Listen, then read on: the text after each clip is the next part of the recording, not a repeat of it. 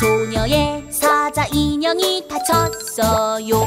서둘러 의사 선생님 불렀어요. 사자 인형이 어딜 다친 걸까? 의사 선생님 빨리 와서 봐주세요. 소녀의 사자 인형을 살펴 봐요. 침대에 눕혀 꼼꼼히 진찰해요.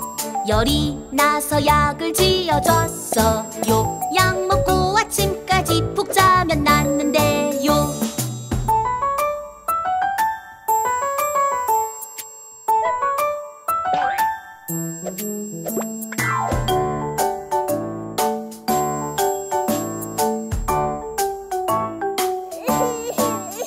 소녀의 사자 인형이 다쳤어요. 서둘러 의사 선생님 불렀어요. 사자 인형이 어딜 다친 걸까?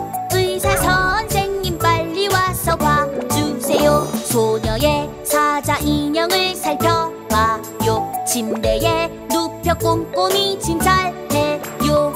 열이 나서 약을 지